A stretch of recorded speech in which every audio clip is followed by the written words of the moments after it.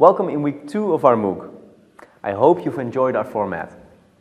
I also hope you've done some of the self-evaluation tests that we made available and checked out the further reading section in the online environment. Since we only discuss most theories very briefly, this is a good chance to explore them further. Also, visit the forum. I'll often help out by posting answers to recurring questions here. And let us know what you think of our MOOC. All feedback is welcome. This week we're going to talk about the history of communication science. And I'd like to stress that last part, because we're going to talk about when people started talking and especially writing about communication.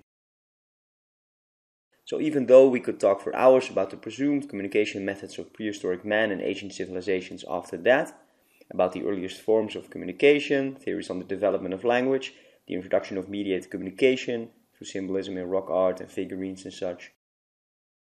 We are not going to do so. We are not going to discuss the oldest musical instruments or the first writing we found, nor the power of communication through architecture and usable items like coins. Why? Because we have no record that these civilizations thought about communication on a meta level and constructed theories about its existence or use. Instead, we're going to start our journey here, in ancient Greece, because the writings of the ancient Greeks and after that the Romans are the oldest books about our topic to survive. After covering the earliest communication science of the Greeks and Romans, we'll talk about medieval times, a time when there was little to no communication science. Then we'll discuss the printing revolution and the renaissance of our field.